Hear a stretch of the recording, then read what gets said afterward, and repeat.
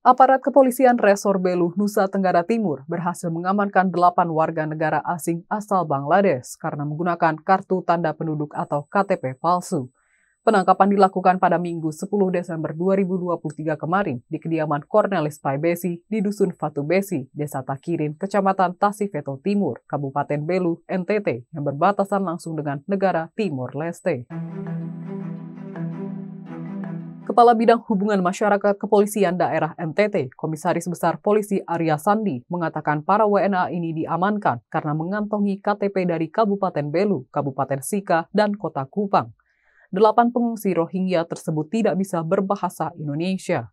Arya Sandi menjelaskan bahwa awalnya Babin Kamtipmas Takirin bersama perangkat desa dan tim pengawasan orang asing dari Satuan Intel Polres Belu mendapatkan laporan dari masyarakat mengenai keberadaan orang asing tersebut. Polisi dan petugas terkait langsung mendatangi rumah Cornelis pada Minggu 10 Desember 2023 siang sekitar pukul 13.00 waktu Indonesia Tengah. Saat dilakukan pemeriksaan, diketahui bahwa para WNA asal Bangladesh ini tidak mampu berkomunikasi dalam bahasa Indonesia. Lebih lanjut, Arya Sandi menyampaikan bahwa para WNA tersebut juga kedapatan memiliki KTP dari wilayah yang berbeda di NTT. Proses penyelidikan akan terus dilakukan untuk mengungkap motif serta pelaku di balik penggunaan KTP palsu tersebut. Mereka mengaku sudah sepekan tinggal dan ditampung di rumah Cornelis.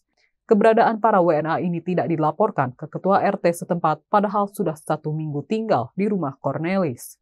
Setelah diamankan, pihaknya menyerahkan WNA ini ke pihak imigrasi Atambua untuk proses lebih lanjut sesuai dengan aturan yang berlaku.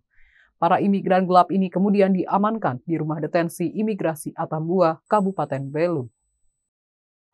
Jangan lupa follow, like, dan subscribe sosial media Tribun Jateng.